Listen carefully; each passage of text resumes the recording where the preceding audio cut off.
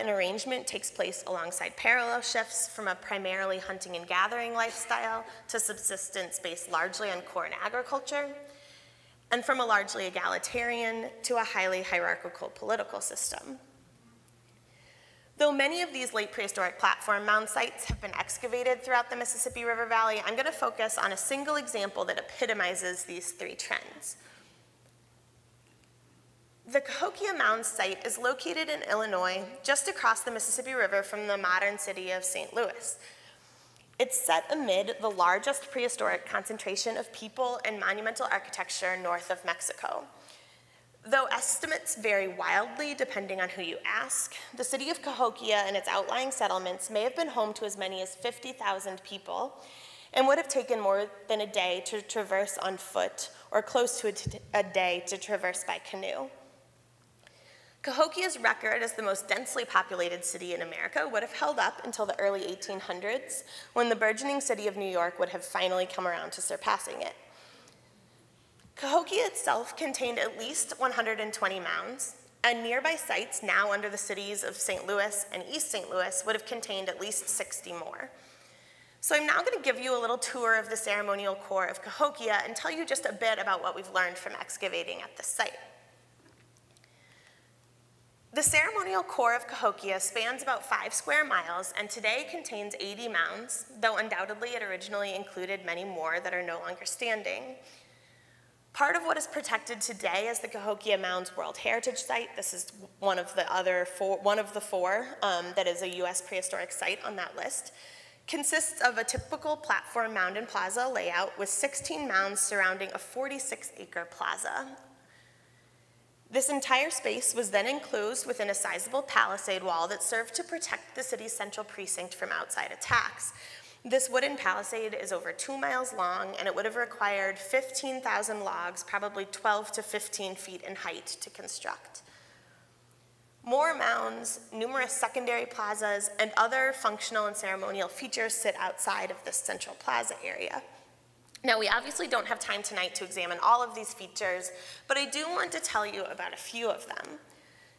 So first off, the largest mound at Cahokia, um, which is known as Monk's Mound, named after a Trappist monastery that was built on the mound in historic times, dominates the central precinct from its position at the north end of the plaza.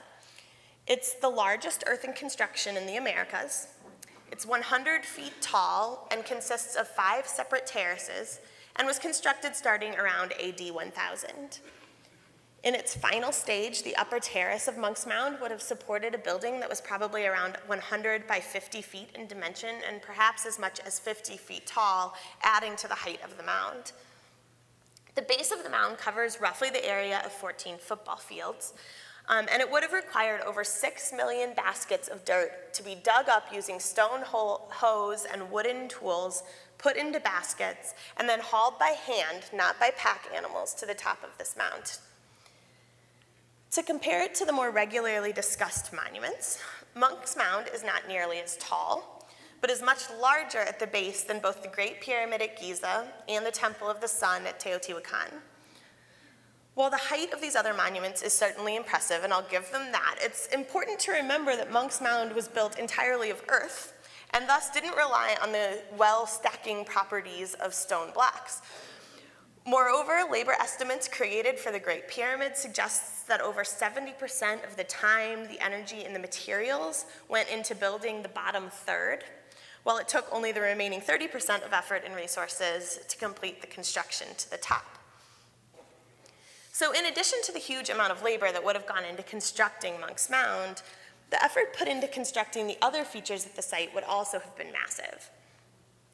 For example, the twin mounds, which are up here at the top, sit at the opposite end of the plaza from Monk's Mound and are both at least 45 feet tall.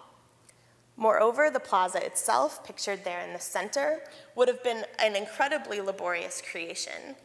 It encompasses the area of about 35 football fields, and it represents the largest public space conceived of and executed north of Mexico in prehistoric times, it was artificially flattened, which means it also would have required a huge amount of labor. Nearby to this grand plaza, um, Cahokians also constructed a giant solar calendar, which is what's pictured here on the bottom, that was rebuilt four times using massive cedar posts during the primary occupation of Cahokia. This monument records the summer and winter solstices, the equinox, and likely also marked important festival dates related to the agricultural cycle. In short, it functioned a lot like Stonehenge, but it was made out of wood. Thanks to a long history of excavation at Cahokia, we know a great deal about the lives of the people who lived in the Mississippi Valley from around AD 1000 to AD 1400. In addition to the mounds that remain conspicuous on the Cahokian landscape today, excavations have uncovered the remains of many houses neatly arranged in neighborhoods along paths or streets. It would have been a busy and a bustling city where people made and used tools, maintained fields of corn and other crops, exchanged, go exchanged goods and ideas, prepared, consumed food, played games, raised children, nursed the sick, buried the dead. I think you probably get the idea. All the things that we do today. Likewise, they would have also struggled with many of the same issues that plague our urban environments today. They dealt with overcrowding, with trash accumulation, with violence, and with crime. And yet, for hundreds of years, they thrived in this place. Their fields provided such an abundance of corn that they had much more than they could eat. This surplus fueled their society, providing goods for trade and exchange, allowing some Cahokians to dedicate their time to becoming skilled artisans and craft specialists, and allowing others to rise to positions of leadership. Cahokia's chief lived on the highest point at the site atop Monk's Mound, and from there he ruled his incredible city and maintained order and harmony among his people. Similarly to the individuals buried in Hopewell mounds, it's also likely that this chief was charged with maintaining the balance between the upper world and the lower world, for communicating with the spirits, and for ensuring the survival of the entire Cahokia population. Though we will not discuss them today, a number of other large mound sites date to roughly the same time period as Cahokia and were also ruled by such powerful chiefs. These include Etowah in Georgia, Moundville in Alabama, and Spiro in Oklahoma. And I should point out that all of these sites, along with many of the other ones that I've mentioned today, are open to the public, and I encourage you to visit them. They're even more incredible when you're there. Um, each of these sites has a really inc incredible story um, that's more fascinating than the last. So as you go through them, you'll learn um, so much more if you went through them one by one. Excavation of these late prehistoric mounds also helps to deepen our understanding of the current Native American worldview and the variety of belief systems that are alive and well today in today's tribes. The beautiful and deeply meaningful art created by these people in these communities provides a window into how prehistoric Native American groups understood their world, both the seen and the unseen aspects. And I'm not going to explain all of the artifacts that are up here today, but you can suffice it to say that most of these things relate to a very um, now well understood idea of how the prehistoric people in the Americas viewed their world. And um, hopefully someday I can come back and, and talk more about that. Beginning of my talk, I showed this diagram. And I've now told you about the earliest mounds, like those at Watson Brake and Poverty Point. I've told you about some of the most ornate examples, like those created by the Hopewell and effigy mound building cultures, and then some of the largest constructions, like those at Cahokia.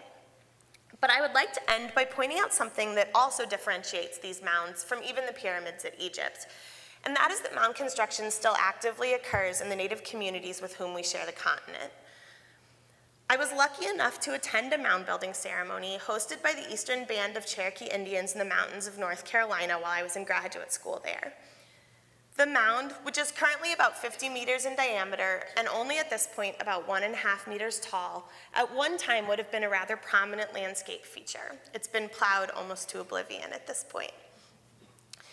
Known as Kituwah, the Cherokee believe this ancient settlement is the birthplace of their people.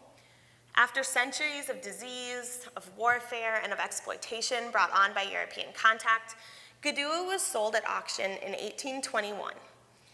Most Cherokee people were then forcibly removed from their land soon thereafter. Those who escaped removal were left in the state of North Carolina with no legal right to hold property. It was not until 1996 that the Eastern Band of Cherokee Indians had the opportunity to buy back the land on which Kituwah stood. On June 24th, 2011, when I was there, 173 years after being forced from their land forcibly, Cherokee people undertook their 10th consecutive year of mound building at the site. Mound construction has thus continued with only minor interruptions for nearly 6,000 years in the United States. These mounds represent some of the earliest monumental constructions in the world. Their size and their elaboration rivals even the most famous monuments from other region, regions, and it is for this reason that I wholeheartedly believe that the mounds of the Mississippi Valley could rightfully hold a place on any list of great wonders of the world. Thank you.